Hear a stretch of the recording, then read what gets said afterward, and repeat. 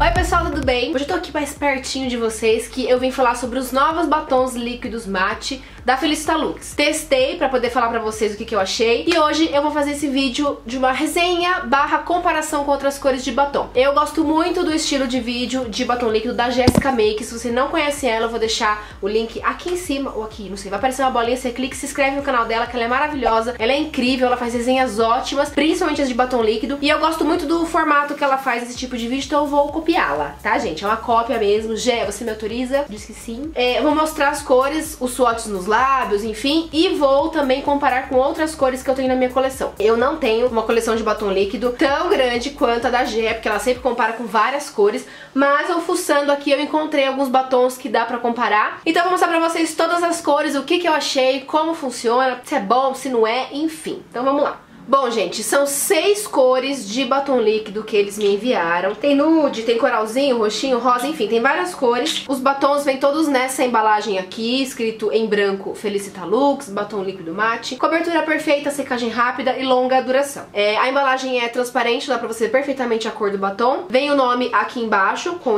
adesivinho, e a tampinha é roxa. O aplicador é estilo o da Dylos, tá? Que é aquele, aquela esponjinha tipo de gloss, e é bem curtinho, eu achei o cabo, mas não tive dificuldade na hora de aplicar. O batom em si, ele é um produto mais entre o mousse e o líquido. Ele é um cremoso mais fininho. Então assim, ele é muito fácil de aplicar por ele não ser tão grosso. Ele não, ele não seca tão rápido, então não dificulta na hora de aplicar. E ele não é tão líquido que acaba escorrendo, sabe? Eu achei a consistência dele perfeita. Eu achei muito boa mesmo. Me lembrou a consistência dos batons da T-Blogs. Aquelas cores que tem mais branco no fundo é mais difícil. Não é que é menos pigmentado, mas é mais difícil de conseguir uma cobertura perfeita, sempre fica um pouco manchadinho. Pra mim não é da marca, é realmente a cor que é mais lazarenta, sabe? O cheirinho do batom é docinho, também lembra muito da T-Blogs. É baunilha, eu acho que eles usam e eu gosto muito. A cobertura é muito boa, como eu já falei, com algumas cores, outras, depende da, depende da cor, fica mais complicado, fica mais difícil.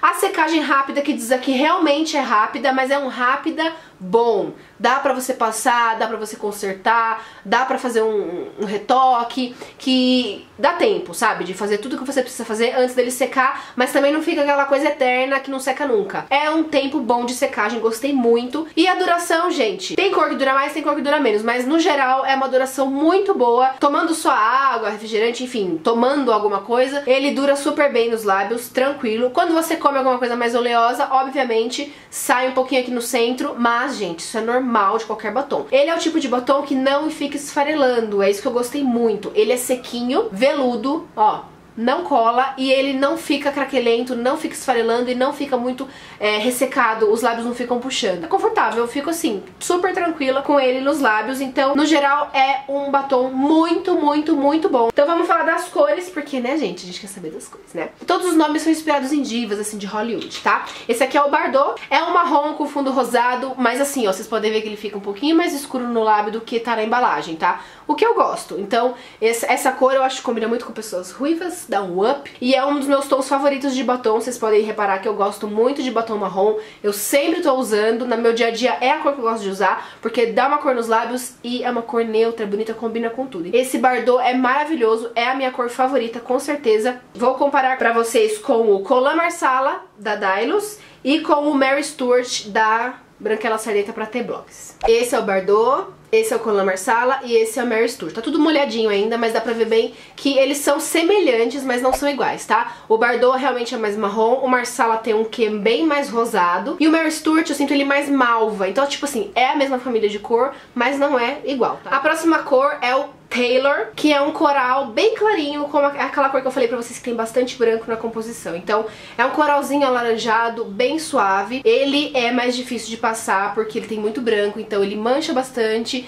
E se o seu lábio não tá super hidratado e se o seu lábio não é aquele lábio que é bem lisinho, não fica legal, gente. Já falo, porque o meu lábio não é desse tipo. O meu lábio, ele é bem rachadinho, ele assim, ele tem muita linha de expressão por ele ser muito ressecado. Então não fica muito bonito, assim, não fica lisinho. Eu não tenho nenhum batom líquido dessa cor, gente. Então eu vou comparar ele com o Viva Flower Fosco da Eudora, que é mate, tá? Ó, gente, esse é o Taylor e esse é o Viva Flower. O Viva Flower é bem mais claro, tem bem mais branco e o Taylor, ele é mais laranjinho, mas é, uma, é a mesma família de cores, tá? Próxima cor é o Hepburn. É aquele rosa bem aceso, tá? Mesma coisa do Taylor. Ele é um pouco mais difícil de ficar bonito numa boca que é mais rachadinha, que é uma boca com bastante linha de expressão. Marca bastante e não fica muito igual, sabe? Vou compará-lo com... Também não tem nenhum batom líquido dessa cor. Então vou comparar com o batom em bala, que é o Elsa da T-Blogs, da coleção Pausa para Feminices. Então, gente, esse é o Hepburn e esse é o Elsa. E o Hepburn é bem mais rosa, o Elsa é mais coralzinho, então não são iguais. A próxima cor é a minha segunda cor favorita, eu fiquei apaixonada nessa cor. Que é o Von. É um rosa com...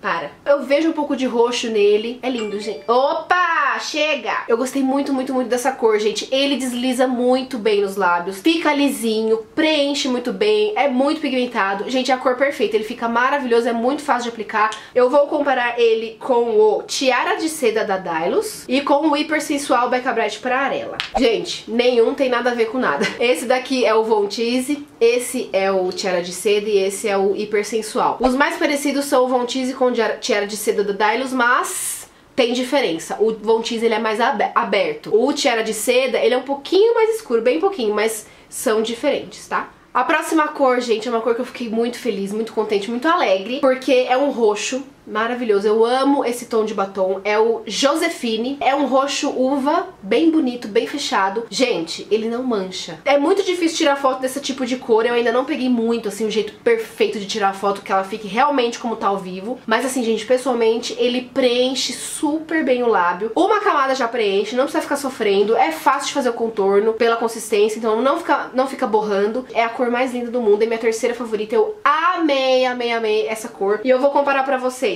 com o Maria Antonieta, Branquela Sardenta pra ter blogs, e o Ultra Divertida Becca Bright para Arela, que é tudo da mesma família de cor, né? Esse aqui é o Josefine, esse é o Maria Antonieta e esse é o Ultra Divertida. O Josefine é mais parecido com o Maria Antonieta, mas mesmo assim não é igual. Eles são muito, muito, muito semelhantes, ó. Mas o Maria Antonieta é mais fechadão ainda, é bem escurão. O Josefine, ele é um roxo fechado, mas é menos fechado que o Maria Antonieta, dá pra entender? E o Ultra Divertida é um roxo uva, não tem nada a ver. E a última cor, gente, é um vermelho bafo, um vermelho maravilhoso, incrível, que eu já usei aí alguns vídeos pra trás, vocês ficaram loucas nesse batom. Que é o Marilyn, é um vermelho puro, é um vermelho aberto, é um vermelho maravilhoso com fundo quente. Preenche o lábio perfeitamente, desliza muito bem, deixa a boca lisinha. É muito, muito, muito lindo. Um dos vermelhos mais bonitos que eu tenho. E eu vou comparar com mais duas cores pra vocês. Com o Super Poderosa Becca Bright pra Arela e com a cor 11 da Vult. Então esse é o Marilyn. Esse é o Super Poderosa e esse é o da Vult. O Super Poderosa e o Marilyn são bem parecidos, mas o Super Poderosa da Becca é ainda mais, é um pouco mais fechado, é mais escuro, tá? É semelhante, mas não é igual. Então esses são os batons da Felicitar, cores mais lindas, maravilhosos, tá super aprovado. Tem mais fotos no blog de swatch nos lábios, então não esquece de acessar o blog, tá aqui o link no box de informação ou também você pode digitar direto lá misturafeminina.com que você vai achar o post, tá? Eu vou colocar o link de lojas que vocês podem achar, não é parceria com nenhuma loja esse vídeo, tá gente? Foi a Felicitar mesmo que me enviou pra resenha, mas também não é um vídeo publicitário, tá? Tô fazendo porque eu quero, porque eu achei realmente eles muito, muito, muito bons. Então no blog vai ter link pra onde comprar, valor e mais fotos, não esquece de acessar, tá bom? Dá um joinha se você gostou desse vídeo, se inscreve no canal e não esquece também de me seguir nas redes sociais, que aí vocês sabem tudo primeiro por lá. Um beijo pra vocês e a gente se vê então no próximo vídeo. Tchau!